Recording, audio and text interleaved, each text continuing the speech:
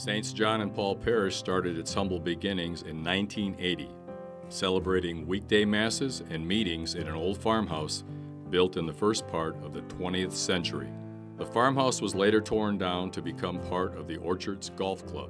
Father Ron Says, our founding pastor, then started celebrating masses at Washington Elementary School and later at Powell Middle School before breaking ground at its current site on Sunday, October 2, 1983. My very first Mass was on Christmas Eve of 1984. That was a, a, great thrill. I think I practically floated down the aisle here as, you know, said the first Mass. It was just a very, very beautiful experience, especially after having waited so long, almost five years to get into one's own building. You know, when we built the church in 84, when it finished, we knew that there was a lack. There was a lack of space, a lack, we had offices, of course, but there wasn't really any gathering space. So there was, at that time, the plan that someday we would have additions to be able to function in a way that perhaps a complete parish would. Uh, it takes a while for a community to grow.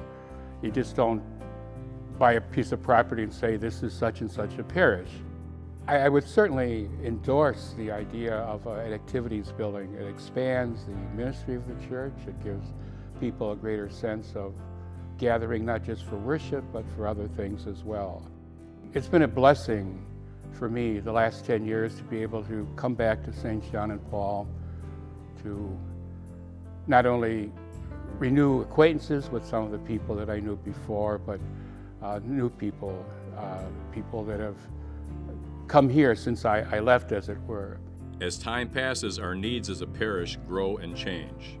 And as the need was seen 31 years ago to build a permanent home for Saints John and Paul Parish, as we continue to look toward the future, the need for a permanent parish life center has been identified so that we can grow as a parish and in our parish ministries.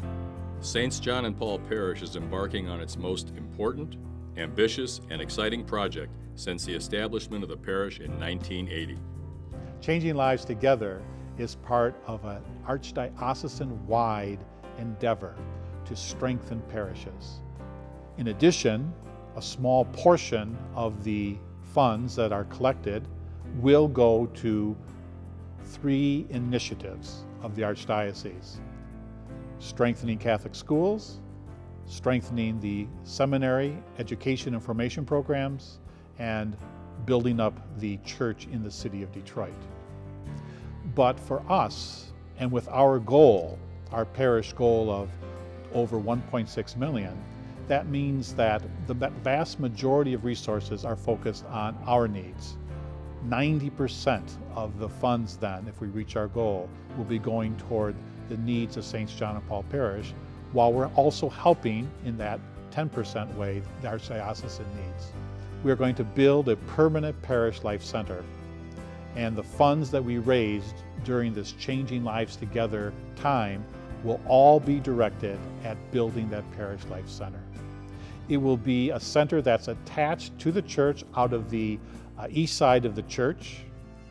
It will have a, a, way to be a main entrance into the church and a gathering area. There will be a high quality, new, uh, modern kitchen facility. There will be up-to-date and large restrooms. There will be a multi-purpose uh, building that can be used for large social events, for community outreach, for, uh, for sports for the children, and many other uses. The phrase that we want you to think about is equal sacrifice, not equal gifts. Equal sacrifice, not equal gifts, because everyone's situation is so different. But to, to achieve that, uh, that significant of a goal, we will need those who are capable of it to think about significant gifts. For some, it might be gifts of 10,000, 25,000, 50,000 or more. And we will need people to think in those terms. To help encourage uh, some thought along those directions, there are memorial opportunities. Many of the memorial opportunities, maybe most of them, are going to be connected to a new parish prayer garden. No money that is donated goes to that prayer garden. We are already planning using parish operating budget to build that prayer garden. But I want to make it clear that every gift given will be gratefully received and will be acknowledged in that new parish life center. Saints John and Paul is a very active parish with over 1,200 registered families. We come together in faith and in fun to pray together and to play together. Our parish ministries allow us to share our time and talents in serving the needs of others through Samaritan House, Agape Center, Macomb Habitat for Humanity, and Project Hope, as well as hosting McRest for a week and sharing the bounty from our community garden. This parish has had a wonderful start, and it right now seems to be moving along, and the next step is to to, to provide enough physical space for that growth to continue. You have to look to the future and what is available for our younger families and get the children involved and the, and the parents involved. Saints John and Paul Church is fortunate to have a vibrant youth group that not only gathers together to focus on their faith, but to work with each other to understand ways our faith can be shared with everyone in spite of differences. A new parish life center would uh, add a lot of value to what our kids have experienced at this parish. Some of the other uh, events that they do in, in other locations that they could host here, I think would be advantageous. And also with the pancake breakfast that they do, which is their sole fundraiser, it would be nice for them to have the ability to serve more people and any activities that the kids do are limited with the kitchen and also with the amount of space, and it would just be nice to not have a limit on their activities.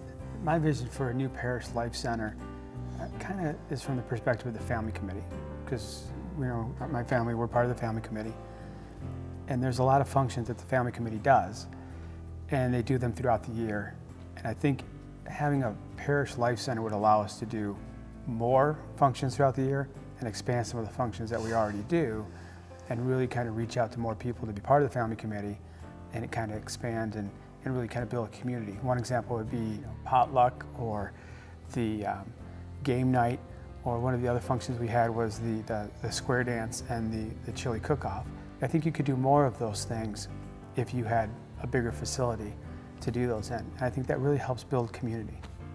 So, and then the other function that I think would be nice is having the multi-use is for uh, some of the, the, uh, the, kids in the parish, if we could maybe get involved in the CYO program uh, to where they'd have a place to get to know each other and, and to participate there.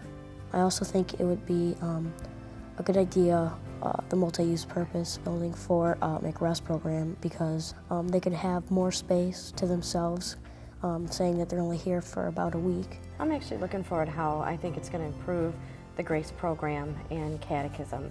Um, I think we can really get more of that whole community, the dinner, especially before Grace, where everybody comes together and sits down for dinner.